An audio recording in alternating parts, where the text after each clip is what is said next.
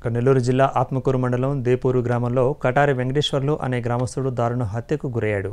మూడు రోజుల క్రితం పశువుల మేత కోసం పొలాలకు వెళ్ళిన వెంకటేశ్వర్లు బీడు పొలంలో తీవ్ర గాయాలతో పడి ఉన్నాడు. ఈ విషయాన్ని గమనించిన గ్రామస్తులు పోలీసులకు సమాచారం అందించారు.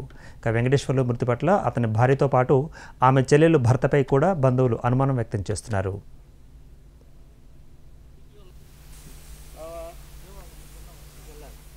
వాళ్ళకిద్దరికే తెలియాలి అమ్మాయి అబ్బాయి చచ్చిపోయిన అబ్బాయి భార్యకి ఆ అమ్మాయి ఆ బోడికి తెలియాల వాళ్ళిద్దరికి వాళ్ళే తెలియాలి సార్ ఏది జరిగినా వాళ్ళిద్దరిదే అదే ఏదో చేస్తుంటదని అనుమానం నాకు.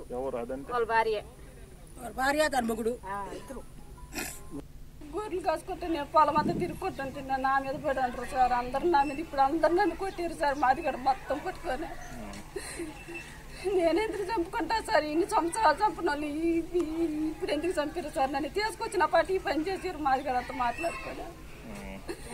నేను చంపినాను నేను చంపినాను మాది కూడా మొత్తం వచ్చి మా అంటాన్ని కొట్టిపోయారు సార్ అన్న ఎవరైనా ఎంత పగస్తులైన భర్తను చంపుకుంటారంట సార్. ఇన్ని సంవత్సరాలు ఇరవై రెండు సంవత్సరాలు నా పెళ్ళయి. నా చెల్లు కూడా తీసుకునేరు సార్ మా అంతంగా ఇదిలు ఇదులు కొట్టి కొట్టి కొట్టా. నేను ఎందుకు చంపుకుంటాను సార్ నా భర్తన? నా మీద అందరికి పాకేశారు నేను ఈ ఊరికి వచ్చింటాంచి మా ఇద్దరి మీద పాకేశారు నా మీద నమ్మకం వాళ్ళకిద్దరికే తెలియాలి. మరి